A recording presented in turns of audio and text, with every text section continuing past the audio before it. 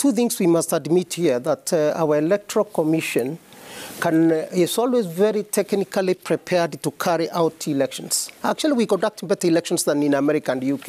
If you look at what we have done for the last uh, three or, or, so elections. Mm-hmm. We are incrementally changing and actually adding value to the way elections are conducted. And in Africa, I think we are doing well. But the only problem with our IEBC is that it's never politically prepared. It's never politically prepared, but it's usually technically prepared. It's not politically prepared because of the manner in which we appoint commissioners, and the trust in Kenyans always varies uh, from one region to another, the trust and confidence they have in the elections. Uh, a while back, if Western, if uh, uh, uh, Nyanza region would say IBC is not prepared, Central Kenya would be saying IBC is very well prepared, mm-hmm. right? So we, we, we are even divided in how we see institutions because of ethnicity uh, if Rift Valley says uh, today uh, that they are confident with IEBC, I'm telling you, Nyanza will not be saying the same right? Because of the divisions that we carry. And this is what cannibalizes, this is what weakens all our institutions of governance. Mm-hmm. Now, I'm mentioning that simply because the manner in which we perceive institutions eventually leads to how politicians establish the same institutions after they kill them after every elections. All our constitutional commissions today are a mirror image of the 2013-2016 constitutional commissions. What does that leave us with?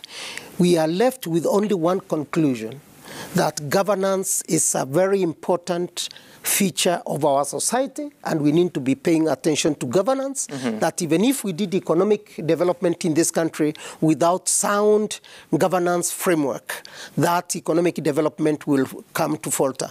President Kibaki did not learn enough of that lesson mm-hmm. because he concentrated on economic performance, forgot about inclusive politics, and there we went to 2007 political crisis.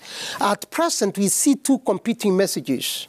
There is William Ruto, the deputy president, and the UDA mm-hmm. that are actually continuing with the same same arguments that they had from 2013, emphasizing more than anything else on economic uh, performance and economic development, but we have not had them much talking about what is it that they are going to do on inclusive politics in this country.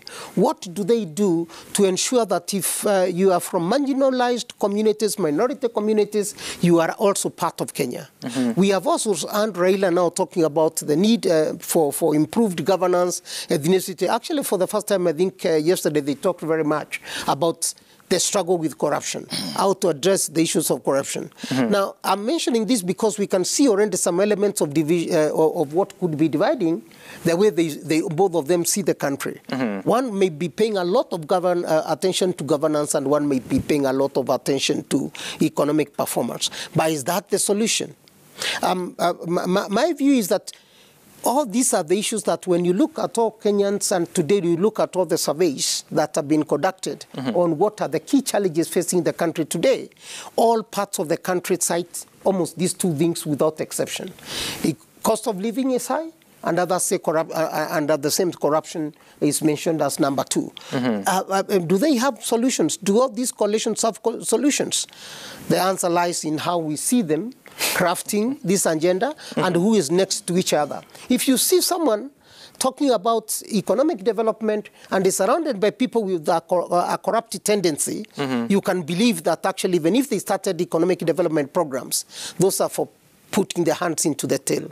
If you see, on the other hand, people talking about uh, so, uh, unity, diversity, without talking about much about uh, uh, uh, uh um, uh, economic development, you know that there is going to be some kind of incoherence in how they run their policies. Hmm.